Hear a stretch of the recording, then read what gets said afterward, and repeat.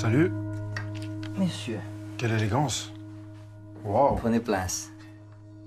Comment allez-vous, monsieur? Très très bien. C'est... Qu'est-ce qui est écrit là? Hein? C'est qui est écrit? On va voir si vous avez encore une bonne vue à votre âge. Ah exactement, je n'ai pas. Non? Il y a écrit suspute. Alors, est-ce que vous pouvez me donner donc vos, vos prénoms, votre nom de famille pour que nous puissions démarrer notre conversation, monsieur? Mon vrai prénom, c'est Atef. Et mon euh, nom de famille, c'est Al Capote. Eh bien, vous êtes né où? Je suis né à Paris. À Paris. Eh bien, que faites-vous dans, dans la vie? Je suis auteur-interprète. Et je suis dans le divertissement. Eh bien, vous avez commencé à, à travailler euh, dans le milieu musical ou avec la musique. Oui. À quel âge? Je pense que c'était lorsque j'avais l'âge de 15 ans, lorsque j'étais prépubère, Oui. dans mon adolescence. Et vous avez commencé à écrire euh, sur quoi? Qu'est-ce qui, qu'est-ce qui vous inspirait à ce moment-là? Po- posez, posez vos affaires là, si vous Moi, je suis bien comme ça. Hein. Eh bien, vous ça- inquiétez pas pour mon confort. Très bien. Ah, mais je, c'est la moindre des choses. Non, vous êtes gentil. Je pense que euh, j'ai besoin de voir un professionnel pour parler de tous mes problèmes. Vous imaginez bien, donc moi je suis psychanalyste, Oui. mais vous imaginez bien qu'ici, nous n'allons pas faire une psychanalyse ou une psychothérapie, nous allons bavarder. Ah oui? Et je vais ressortir grandi de cette bavardage Ah, mais j'espère bien. Est-ce que vous allez résoudre quelques... euh, colmater quelques brèches? On, que... on- on va, on que- verra ça, c'est vous qui allez juger euh, à la fin. Pour l'instant, on est en train de démarrer. Allez-y, parlez-moi un peu de cette écriture. Cette écriture, euh, je pense que j'aurais euh, plus besoin d'un pasteur ou d'un imam pour m'aider. Euh, j'ai tellement de, de démons en moi. Ils sont des djinns, des, des. Il faut que je me débarrasse de tout ça. Et ça a commencé quand dans votre vie? Ça a commencé en... Je ne sais plus quelle année, je, je pense que j'avais 15 ans, oui. D'accord Et pourquoi, à ces moments-là, cet âge-là, est-ce que vous avez une petite idée? Je ne sais pas, c'est une, une euh, soif de vengeance. Vengeance Oui. Se venger de qui? C'est un combat contre moi-même que je mène. Je suis comme Arnold Schwarzenegger dans Predator. Je veux repartir avec la petite fille sur mes épaules et, et tirer sur tout le monde. Je, Oui. ouais, je fais des cauchemars.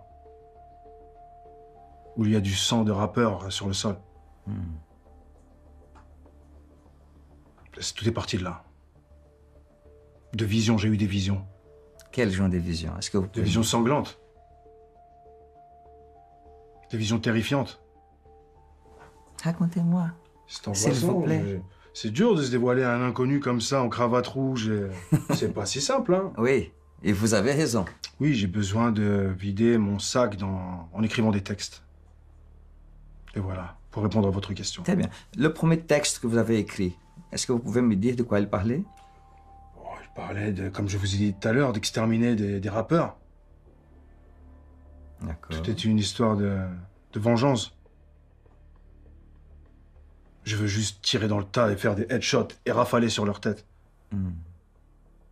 Et pour quelle raison cette, euh, cette colère contre ce que vous appelez rappeur? Si Est-ce que vous pouvez me dire ça? Vous pouvez me répondre à cette question Je peux tout vous dire aujourd'hui. Je me masturbe. Je, chaque soir, euh, mes enfants finissent dans un Kleenex ou dans un trou euh, d'évacuation. Qu'est-ce que vous appelez vos enfants? Des enfants morts-nés. Ce ne sont pas des... Je- Dieu avait décidé d'un autre futur pour eux. Hmm. j'ai changé leur trajectoire. Nous sommes tous des meurtriers quelque part. Permettez-moi de ne Les pas... mangeurs de viande, les carnivores. Ceux qui mangent de la viande sont des meurtriers. Je ne suis pas végane, moi-même j'en suis un. J'aime la viande rouge, la viande blanche, la viande de veau, mais pas la viande de porc. Et pour quelle raison cette euh, discrimination contre la viande de porc? Oh, je sais pas, j'ai pas goûté, mais ça m'a pas l'air. euh, ça m'a l'air croustillant et fondant, croustillant crémeux. Mais je n'aurai jamais cette réponse-là. J'essaie de trouver un truc qui ressemble au bacon. C'est une solution. Habile, intelligente, c'est une solution. Il n'y a pas de problème, il n'y a que des solutions. Je vois que vous portez des lunettes, j'ai un peu du mal à voir vos yeux. Oui, ça c'est une autre histoire. Seuls ceux qui voient mon zizi ont le droit de voir mes yeux. Seuls ceux qui regardent mes testicules. Je ne montre pas mes yeux comme ça. Très bien. Voilà, ça c'est votre limite. Il y a une limite à tout. Mais heureusement. Attendez. Heureusement vous avez bien raison. Et pour votre euh, casquette? J'ai une calvitie énorme. Je n'ai pas eu le temps de me raser. Je n'avais pas besoin de vous plaire, donc je ne, suis- je ne me suis pas rasé. Vous avez tout à fait raison, vous n'êtes pas là pour me plaire, vous êtes là pour bien dire. Si vous êtes d'accord, bien évidemment. Bien évidemment, bien entendu. Pour vous, l'écriture, c'est quelque chose d'important pour vous? C'est une chose importante? Bien évidemment, je suis un grand poète. Un grand poète? Bien sûr. Je peux vous réciter quelques-unes de mes vers, Mais je vous en prie, si vous êtes prêts. complètement. Je vais te préparer de la drogue qui va te faire avaler ta morve dans la vallée de la mort. Salope. Donc, que voulez-vous dire quand vous écrivez ça? Quelle est votre intention? Vous savez, je ne suis qu'un vulgaire poète, un vulgaire divertisseur. Pourquoi vulgaire? Pourquoi dites-vous ça? Parce que euh, je ne suis pas mieux qu'un boulanger. Comme un vulgaire boulanger, euh, je suis un artisan en fait. Poète, un artisan. C'est la première fois que je rencontre un homme comme vous. C'est-à-dire J'ai toujours rêvé de le rencontrer. J'ai besoin de parler à un inconnu. De vider mon sac. Et pourquoi vous n'avez pas cherché à rencontrer un psychanalyste? J'attendais que Weiss euh, s'en charge. J'ai attendu 38 ans. Qui va s'en charge? Et vous, vous n'êtes pas capable de vous-même faire la démarche? J'ai besoin qu'on m'aide. J'ai besoin de votre aide. J'ai une certaine pudeur. Vous me demandez beaucoup, là. Oui. Du calme. Calmez-vous aussi, monsieur. Je suis très calme. Et vous me calmez beaucoup. Je vous fais du bien. hein. Oui. Mais soyez en bonne compagnie. Moi, je, je peux vous dire... Je peux vous dire, mais pas trop non plus. Hein. Exactement. Tout à fait d'accord avec vous. Vous dites ce que vous avez l'intention de dire. Ouais, J'ai beaucoup de choses sur le cœur. Je pourrais payer une prostituée pour euh, vider mon sac, oui. Sans la toucher, sans avoir aucun rapport sexuel, mais juste pour parler. Ah, vous savez, c'est important ce que vous dites là. Énormément d'hommes font ça. Ils sont tellement seuls, et même solitaires, qu'ils payent pour simplement parler avec quelqu'un qui veut les entendre. Voilà. Sans rapport sexuel. Je suis très solitaire. Je suis un loup Et qui êtes, les pièges. vous êtes solitaire depuis quand? Ça, ça a commencé quand, cette solitude? Ça commence à la naissance. Pas mal. Là, je sens le poète. Exactement. Mais ça, c'est pas, c'est pas uniquement pour vous, c'est pour tout le monde. Bah oui, on finira seul dans la tombe. On marque un deuxième point. Mais entre-temps, hein, vous, vous n'êtes pas obligé d'être seul euh, dans ces bas mondes. Je tour de prostituée. Est-ce que vous avez vu un loup solitaire entouré de loups putes, de louves putes? D'une meute de putes de louves?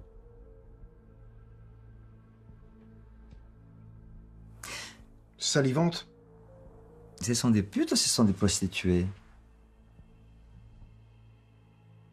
C'est une filles de joie. On court après la joie. Et si ces filles peuvent l'apporter Et c'est le cas? Sûrement, probablement. Oui, mais euh, cette, cette réponse-là est un peu... euh, Je ne sais pas, je n'ai jamais payé Voilà. une pute de ma vie. Alors pourquoi vous avez dit que vous êtes entouré des putes? Parce que c'est réel. Mais vous entendez tout de même le paradoxe. D'un côté, Oui, vous dites que vous êtes entouré, de, de- C'est des putes que je ne touche pas. c'est uniquement pour la- le bavardage, pour la conversation. Non, je vous dis que je pourrais le faire. Je pourrais payer une pute pour euh, raconter ma vie. Ce que je n'ai jamais fait. Je- Je ne sais pas si je pourrais franchir le... Si j'en aurais la capacité, je ne sais pas. De franchir le... Est-ce que vous pouvez terminer cette Franchir le phrase pas. Voilà. Je ne sais pas. Je ne sais pas. Je ne suis pas sûr de moi. J'ai peur de ces prostituées, de succomber au charme de ces putes. Je suis faible, hein. Mais Je comme, ne suis qu'une pute, moi aussi. mais comme tout le monde. Je suis qu'une pute à moustache, une pute à couilles.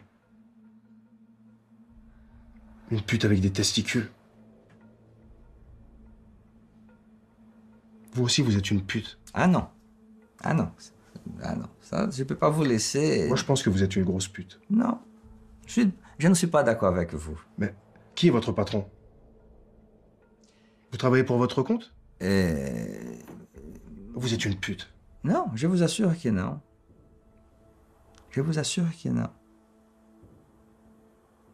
Mon patron, ce sont les patients, les personnes qui viennent me rendre visite. Ce sont eux qui nourrissent mes enfants, grâce à mon travail, bien sûr. Ils ne viennent pas comme ça. Donc, Mais ce sont eux mes patrons.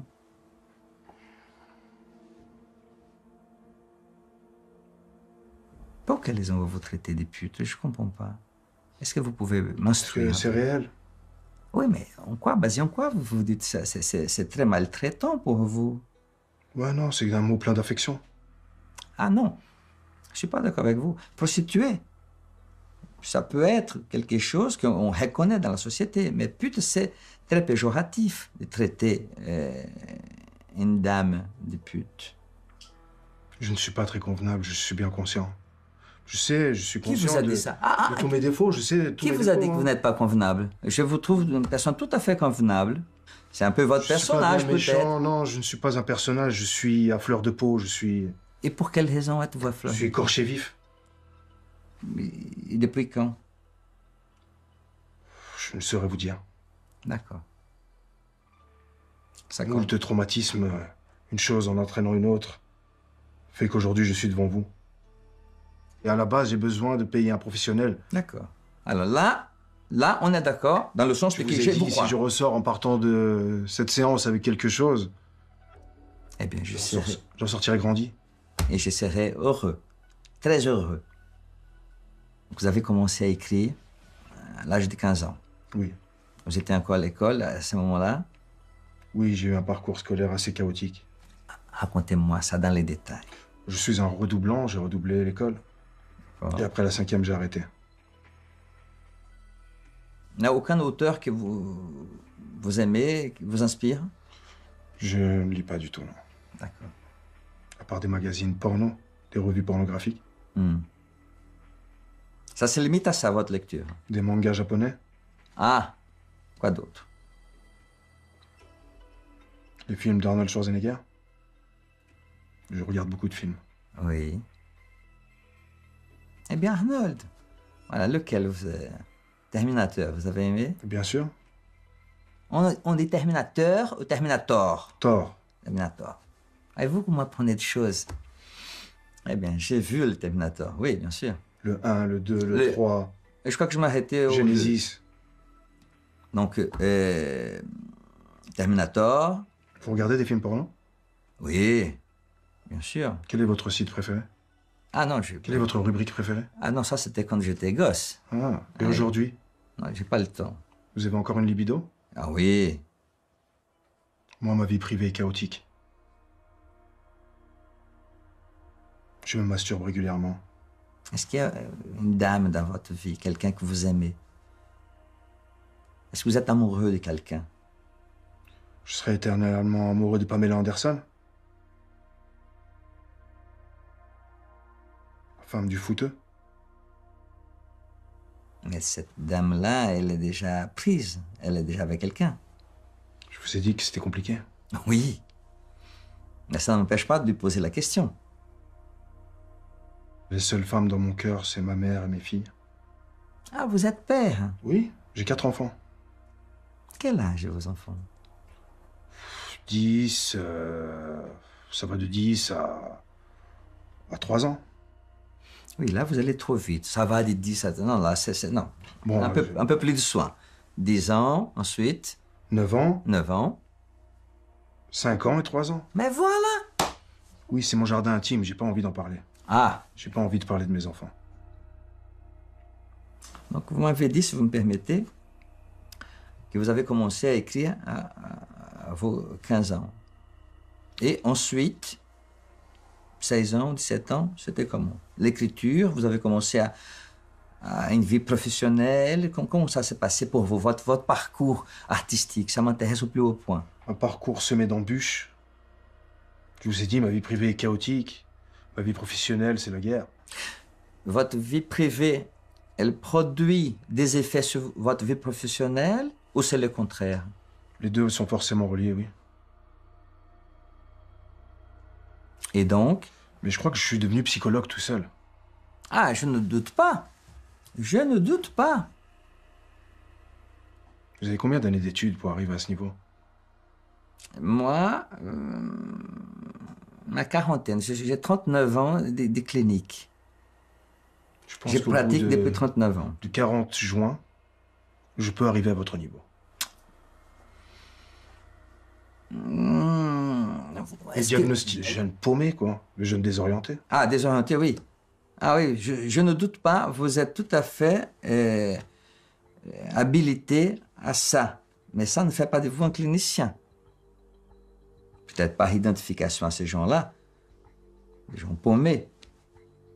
Mais bien entendu, vous n'êtes c'est pas votre euh, cas. capacité à attirer ces gens paumés autour de moi. Oui. Je les attire vous- comme un aimant. Mais, mais On dirait une malédiction. ah non, c'est pas non non non, vous êtes pour quelque chose. Je n'ai rien à voir, moi, s'ils sont tous ratés, ces rats. S'ils ont des souffrances. Chacun a sa souffrance. Oui. Mais on n'est pas obligé de vivre avec. Je n'ai pas bon dos pour porter. euh, pour qu'on m'accuse de tout et de rien. Je ne peux pas. Ah, Je vous êtes accusé? J'ai toujours été le principal suspect dès qu'il y a un vol ou quoi. C'est moi qu'on l'accusait tout de suite. Si votre téléphone s'égare, je serai le principal suspect. Pour quelle raison ça? C'est ma malédiction. Vous et vos histoires de malédiction. Vous croyez vraiment à ça? Pour de vrai Non, non, répondez sèchement à ma question. Non. Voilà. Pourquoi toutes ces putes de ratés me. me courent après? Pourquoi je n'attire pas des. euh, Parce que vous êtes peut-être une proie sais que dire. Je suis plus là pour entendre un diagnostic. J'ai pas besoin d'amour, j'ai beaucoup d'amour dans ma vie. J'ai de l'amour de ma famille, de mes enfants, de ma mère. Vous avez l'amour de votre mère encore? Bien sûr, j'ai cette chance âge? encore, oui. Bon, à mon âge, je regarde encore les Pokémon. Je joue encore à la Game Boy. Quel âge avez-vous, monsieur? J'ai 38 ans, dans un âge euh, terrien. Parce qu'il y a une autre euh, référence pour vous de votre âge? Non, j'en ai qu'un. Très bien, voilà, terrien. Donc vous avez 38 ans, vous avez besoin de l'amour de votre mère, vous jouez au Pokémon? Oui, D'accord. et je regarde des sites porno.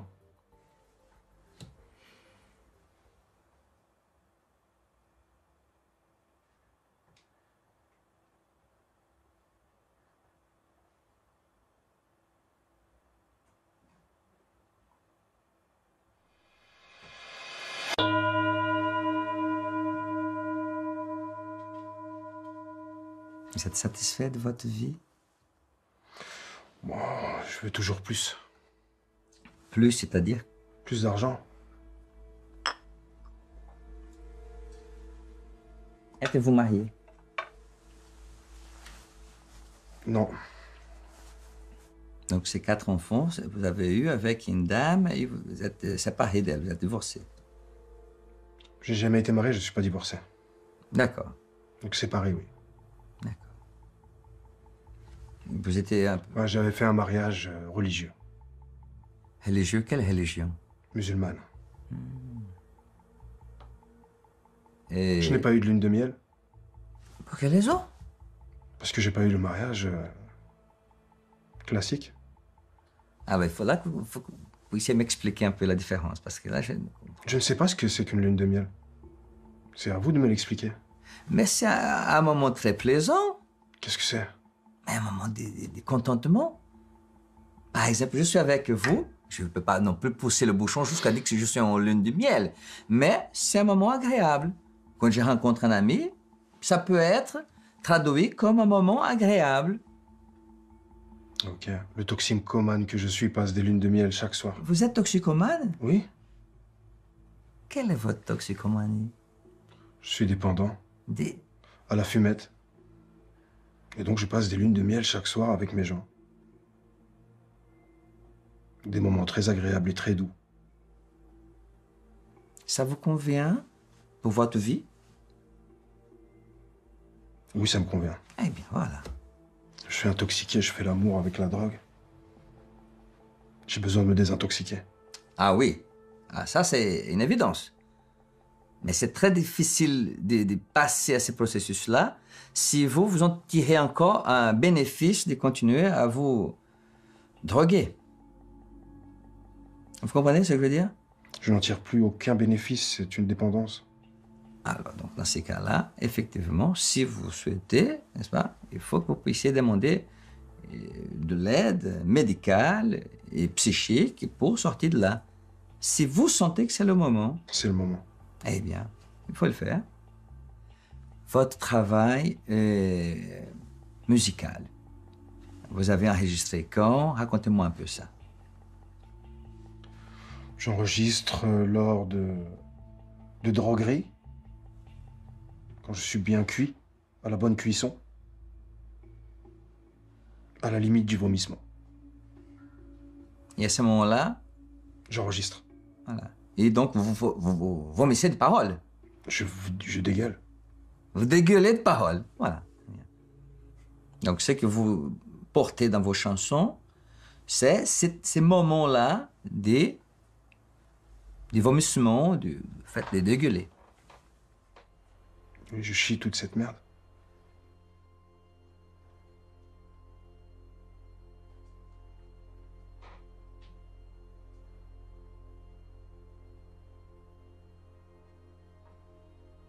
Est-ce que vous êtes quelqu'un de connu dans votre milieu? Est-ce que vous êtes quelqu'un? Non, je suis quelqu'un qui est assez constipé et qui a besoin de chier, quoi. Et vous êtes constipé depuis quand dans votre vie? J'en arrive. J'ai un problème avec le temps.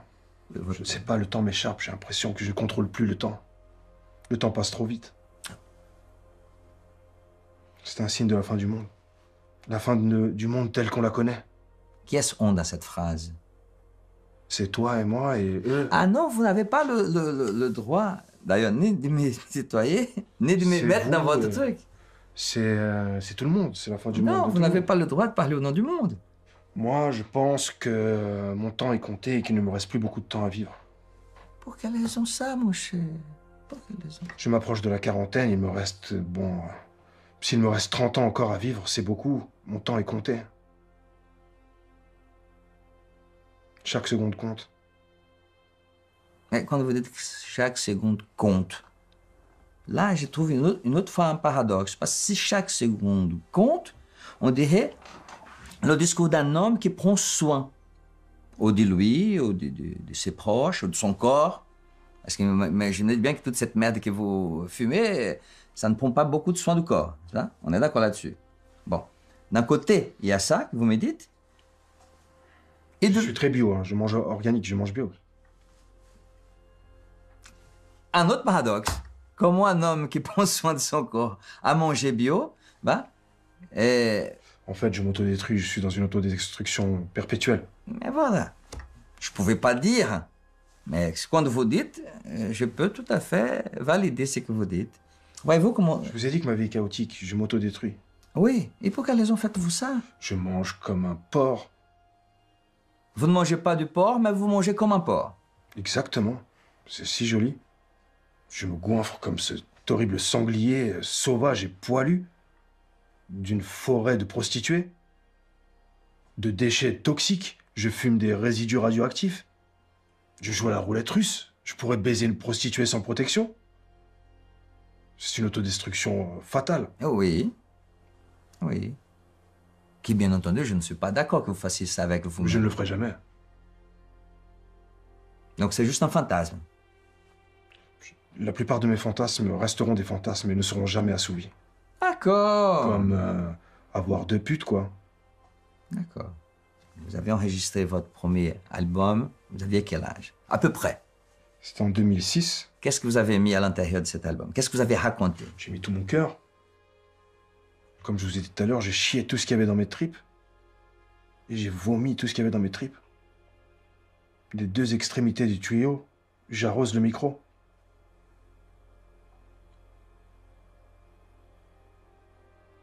Ça parle d'amour, de loyauté, de fidélité,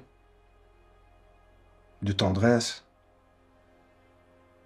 Non, là, vous vous en fichez un peu de moi ou c'est sérieux Non, c'est- réel. Très bien. Alors, donc là, un autre paradoxe. Donc, vous, vous vous présentez avec suspute devant moi, vous me parlez de, de toutes ces choses, vous m'avez appelé des putes, vous, ceci, cela, d'un côté, et de l'autre côté, vous me dites que votre premier album parlait de fidélité, de tendresse, d'amour. Le titre, c'était Haine, misère et crasse. Le contraire de amour, gloire et beauté. Oui. Combien d'albums vous avez J'ai sorti, euh, Vous avez sorti. une dizaine d'albums. Dizaines. Donc, entre le premier et le dixième, est-ce que il y a un album que vous- tenez à cœur? Parce que je vois que vous êtes un homme d'amour, dans le sens que vous, hein, vous le êtes dernier sensible. en à ça. date, je l'aime beaucoup. Pour quelle raison? Il est récent. Il est frais, c'est ma dernière création. D'accord. Qu'est-ce que vous a inspiré? Je n'aime pas les anciens. Vous n'aimez pas les anciens. Ça, c'est pas mal, ça. Ce n'est pas tombé dans l'oreille de, de Je sourd. n'aime pas le passé. Je n'aime pas la nostalgie. Avançons. Ouais, exactement. Qu'est-ce que vous avez mis à l'intérieur de ces... Quels sont les... J'ai mis comme le premier, mon cœur, mes tripes, Oui, mais... Oui, mais... un dégueulis. Je m'inspire de tout et de rien. J'aime beaucoup les potins. Donc vous lisez le monde, vous transformez ça en, en musique avec votre rythme, avec votre, vos tripes, votre cœur, vos vomissements. J'ai bien dit oh, vous- Oui, c'est ça. Bien.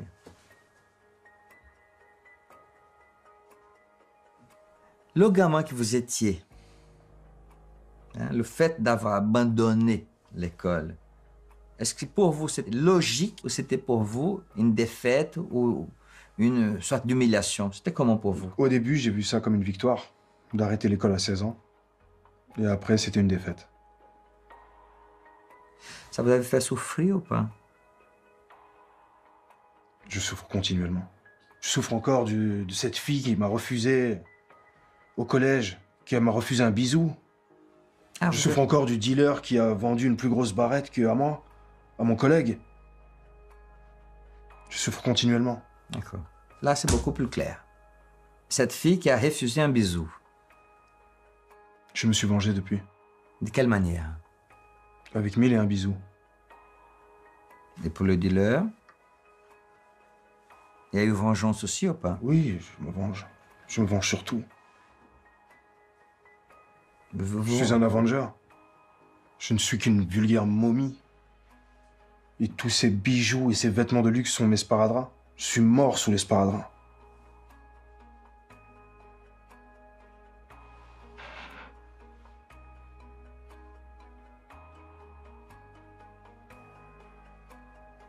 L'interview est terminée C'est fini Mais non, ça vient de commencer. Sauf si vous voulez interrompre. Non J'attends que vous parlez. Comme je vous avais dit, je vous laisse euh, un peu parler librement. J'aime bien votre voix. Je vous remercie infiniment. Avez-vous des frères et sœurs? Oui Vous êtes placé dans la fratrie. Je suis en haut Vous êtes l'aîné? Oui. Et c'était comment être le, le fils aîné donc de votre père et de votre mère? C'était cool Qu'est-ce que vous entendez par cool? C'était sympa. C'était ma destinée. Votre mère était une dame, donc vous m'avez déjà présenté un peu, donc une maman bien, bienveillante. Exactement. Et votre père? Un ouvrier bienveillant. Il n'y a que moi de malveillant. Peut-être l'image que vous avez de vous ne correspond pas à- à la réalité. Je refuse la réalité, peut-être avec la drogue. J'ai peur que euh, si j'arrête la drogue, je vois la réalité et je vois à quel point ma vie est minable. J'ai besoin de fumer plus pour y voir plus clair. Oui, mais euh, plus, plus, plus, ça. Ça ne risque pas de tourner au vinaigre, cette affaire? Autant en finir. Qu'est-ce que vous voulez dire par De la meilleure des manières. C'est quoi la meilleure des manières? Dites-moi. Je ne sais pas quelle serait la meilleure mort. Parce que vous pensez à la mort? C'est inévitable. J'aimerais mourir avant ceux que j'aime. Sérieusement, j'aimerais mourir avec des putes. Eh bien, on va laisser vous Une les crise cardiaque pendant une éjaculation. Ah Oui, c'est bien. C'est un fantasme très courant. Je veux retrouver cette pluie de sperme. Pluie? C'est pas un peu. Je me masturbe beaucoup. Non, mais c'est pas parce que vous vous masturbez beau- beaucoup que vous avez une pluie. Écoutez, faut pas me vendre celle-là. Je ne me Vous- vends vous- pas et je ne vous vends rien. Je n'ai rien. Je ne vais pas vous baiser à la fin. Je... Non, non. Euh, au- au- aucune chance. Mais simplement, j'attire votre attention que là, vous poussez un peu le bouchon un peu loin. Je suis un jeune étalon arabe 100%. Vous êtes sûr de ce que vous dites? Je suis Sylvester Stallone quand il faisait des films porno. Avant qu'il perce.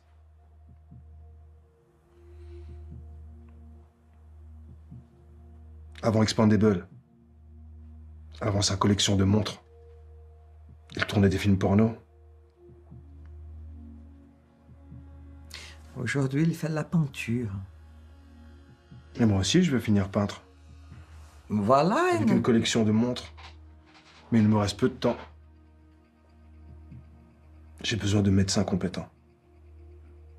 J'ai besoin de me faire tripoter le rectum. Et ça depuis quand? Depuis peu. Depuis peu? Depuis peu, j'ai besoin, je pense que je dois me faire trifouiller le côlon. Et qu'on me touche et qu'on me diagnostique. D'une colioscopie. Sans anesthésie, que je puisse assister à ce qui se passe. J'ai besoin qu'on m'enlève des polypes.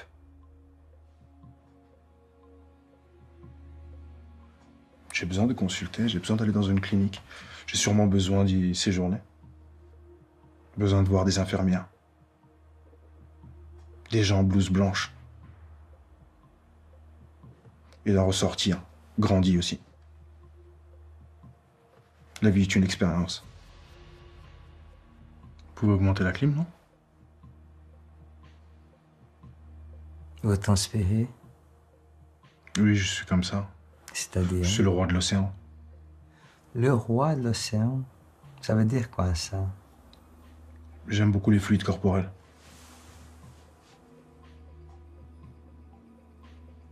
Et euh, ça va durer encore longtemps, ce bordel-là Ah, mais c'est vous, c'est vous qui déterminez. On peut suspendre quand vous souhaitez. Est-ce que vous êtes bien là? Ou est-ce que vous êtes... euh, Avec un peu plus de clim, je serais mieux. Qu'est-ce qu'il y a? Dites-moi. On n'est pas obligé d'y répondre. La sueur répond à ma place. La transpiration répond à votre place. C'est exactement ça. Je suis assez pudique. C'est bien. Je vais me cacher derrière toute cette sueur. Mon esprit est assez vide. Est-ce que vous faites quelque chose pour, pour remplir, remplir votre, votre esprit? Je regarde des documentaires? Quel genre de documentaire? Sur la fabrication de la résine de cannabis. Je suis curieux, de nature curieuse. Je suis un éternel coquin, je veux toujours connaître la sexualité des Ah. gens. Et quel est le rapport avec la résine de cannabis? Non, c'était pour vous dire les documentaires que je regarde, mais Ah, il y a un peu toutes sortes de documentaires. D'accord, très bien. En tout genre. Mais jamais un livre. À part une revue ou le télé 7 jours. Malheureusement, j'aurais aimé pouvoir avoir cette, capi- cette capacité à lire. J'aurais lu euh, des livres religieux, mais euh, j'arrive pas à lire. Pour que les gens n'arrivent pas à lire Je sais pas. Dites-moi Pas d'image, pas d'image, pas d'image. D'accord. Il faut l'image. Il faut l'image. Je m'ennuie vite, je me lasse vite. Hmm. C'est ça qui s'est passé à l'école? Non, je sais pas ce qui s'est passé. J'ai dû être troublé par la beauté de certaines filles, de certaines professeurs. Oui. Pour quelle raison dites-vous que cette beauté vous trouble Non, c'est pas le- les beautés. Je dirais que ce qui m'a troublé, je crois que c'est peut-être le rap qui est arrivé à la même euh, période. Le rap, la fumette, tout est lié, tout a commencé en même temps. Ces trois vagues m'ont submergé. Donc les filles, le rap, la fumette. Dans cet ordre-là. Vous me permettez que dans cet ordre-là? Oui, Voilà. peu importe. Ah non, ça importe énormément. Quand vous mettez les filles d'abord, je vois comment vous traitez euh, les dames. Vous appelez des putes, vous appelez de ceci. ça. Quand je dis pute, ce n'est pas forcément pour les femmes. Ah, ça j'ai Je bien vous ai compris. dit tout à l'heure, je suis une pute moi-même. Ah oui, j'ai bien compris. J'ai beaucoup de respect pour les putes. Les vraies putes, les vraies péripatéticiennes. C'est un travail comme un autre. Vous avez raison, elle mérite du respect.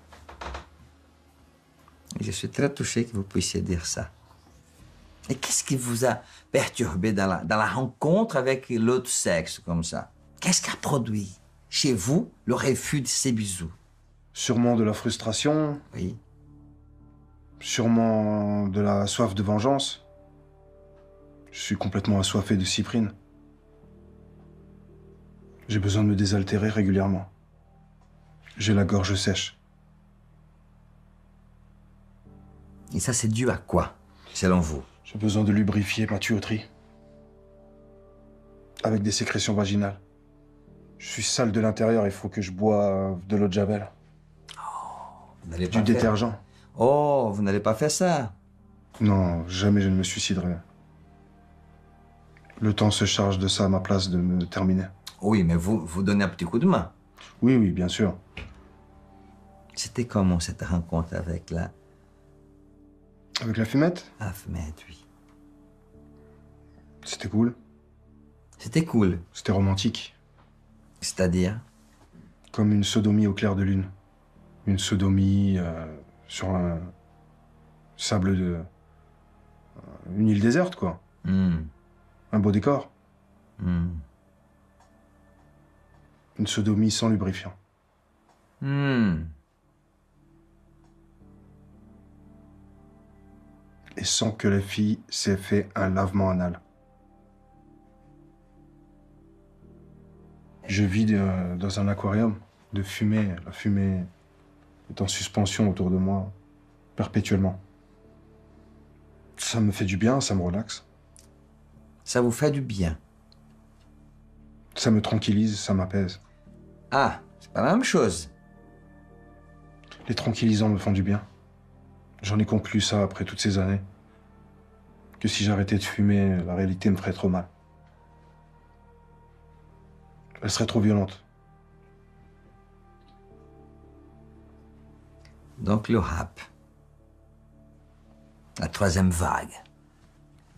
C'était comment cette troisième vague dans votre vie? Le rap, euh, c'est aujourd'hui, c'est euh, c'est mon métier. Mais bon, vous savez, les métiers, il y a encore pas longtemps, mes chaussures étaient sécurisées par du métal avec des chaussures de sécurité. Pour quelle raison ça? Parce que je travaille à l'usine. Le rap ne me rapportait pas d'argent. Oui? C'est aléatoire, tout peut s'arrêter demain. Oui. Donc demain, je peux retourner sécuriser mes chaussures. Dans une usine. Pour 1200 euros par mois. Votre père travaillait à l'usine?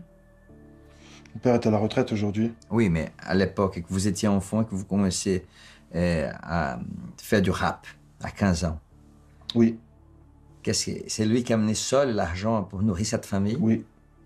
Donc il travaillait dans une usine? Oui, il travaille dans une usine. Et c'était comment votre, votre relation avec lui? C'est une relation euh, père-fils, avec l'amour, avec le respect. C'est tout? C'est tout. Comme je vous ai dit tout à l'heure, je désire vraiment m'en sortir avec l'aide de professionnels, de médecins compétents et diplômés. Qu'ils me diagnostiquent, j'espère un diagnostic. J'espère euh, me tirer de ce mauvais pas. J'espère plus d'argent, plus de tétons gorgés de lait,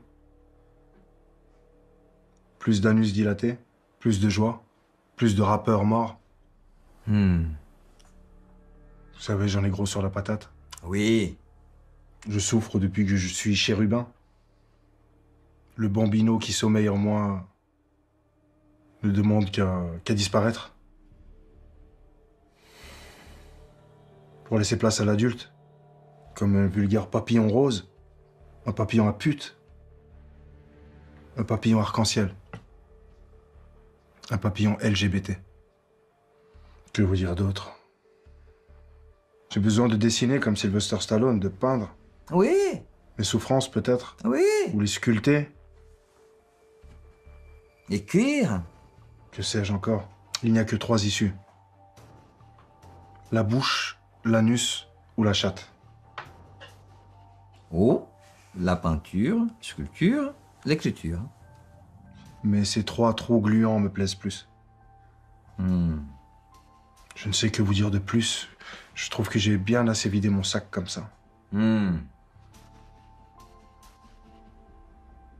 Je vous ai dit tout ce qu'il y a dans mon cœur, au fin fond de mon cœur. Je ne le dis pas à grand monde ce que je vous ai dit. Vous m'avez tiré les verres du nez. Avec votre consentement. Sans violence. Avec euh, douceur. Ce fut agréable. Alors donc pour terminer, j'aimerais savoir si vous sortez de cette rencontre renseigné sur vous-même. J'en sais peut-être un peu plus, oui, sur moi. J'ai besoin de fumer plus pour y voir plus clair. Tout est embrumé. Donc vous avez besoin de fumer plus pour voir plus clair parce que tout est embrumé. C'est à peu près ça, oui.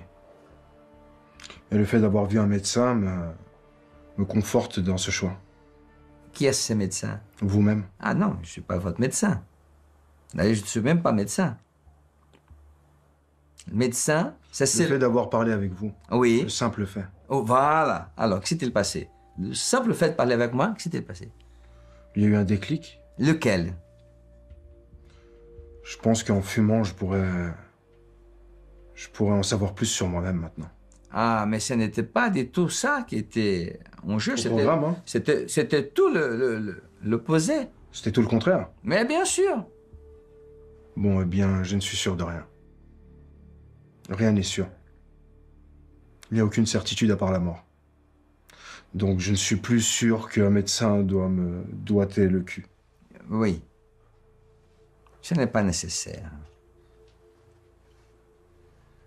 On peut suspendre là? Si vous le souhaitez, oui. Et vous, vous souhaitez? Oui, oui. Très bien.